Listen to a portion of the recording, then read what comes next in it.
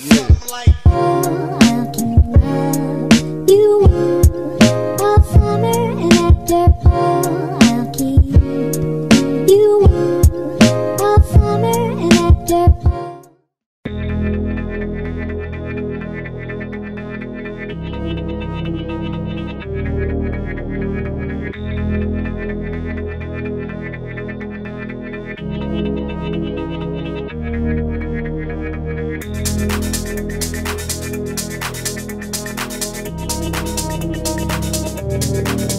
Ada Toyota Corolla tahun 85 yang mana ini tuh kalau dibikin dua pintunya itu tuh AL85 kali ya.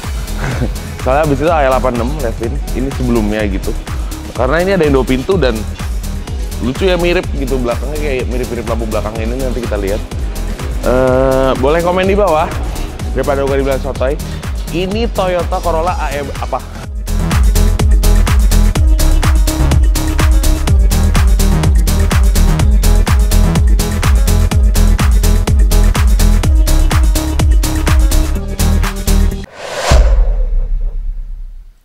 Jadi hari ini kita mau bahas salah satu proyek kita yang udah lama banget ya kita bahas yaitu ada Corolla AE82.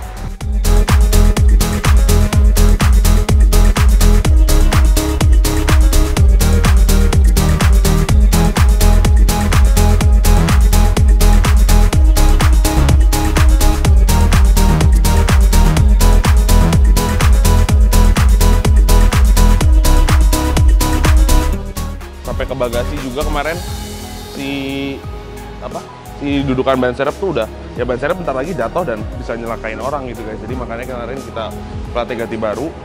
Sampai ke swing arm ya swing armnya dia kemarin dudukannya udah sampai karatan korosi patah juga. Kemarin patah di tol pas lagi ngebut lagi untungnya nggak apa-apa.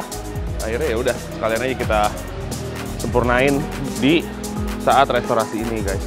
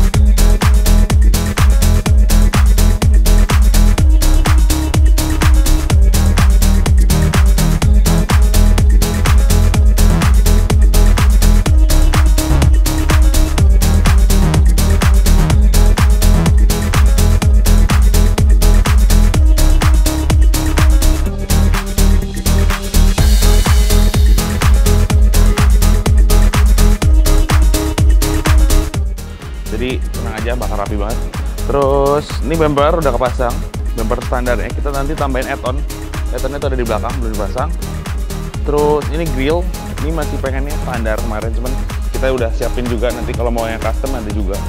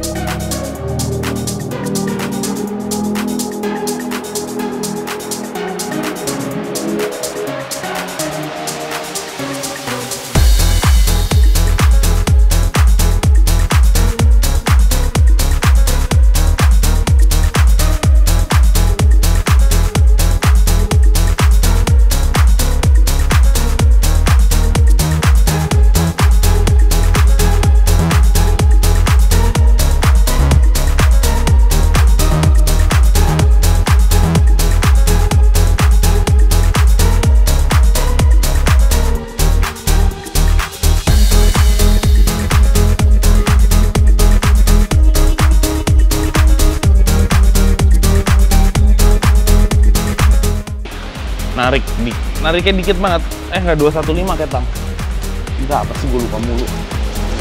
Bannya 19550 biasa gue suka ngaca pokoknya gokil. Terus untuk interior ini udah kita sambungin kulit sama sweat di sini